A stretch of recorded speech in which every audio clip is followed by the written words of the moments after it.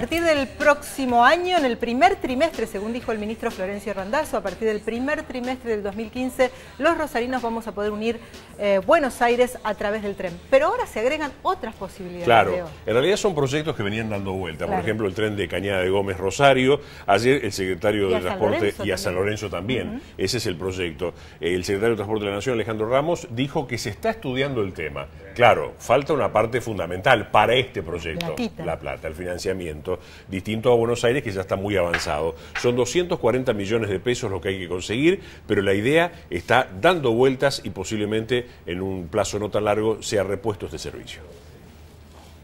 Tras el anuncio del secretario de Transporte de la Nación sobre la reactivación del servicio de tren que unirá a Rosario con Cañada de Gómez, desde la Asociación Amigos del Riel celebran la medida y esperan que se haga realidad luego de que se perdiera en 1977.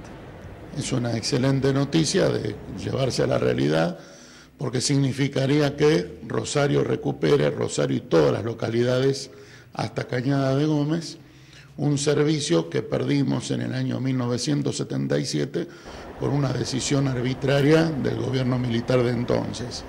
Tengamos en cuenta que en el año 1975, por ejemplo, teníamos 17 trenes diarios a Cañada de Gómez, un servicio de, de muy buena frecuencia, y bueno, eso se perdió y lamentablemente las localidades intermedias y Cañada de Gómez y también Rosario eh, perdió una herramienta de transporte realmente interesante. O sea, tengamos en cuenta que en ese momento, con el material ya no en las mejores condiciones, uno tomaba el tren en la estación Rosario Central y podía llegar a Fisherton en 19 minutos.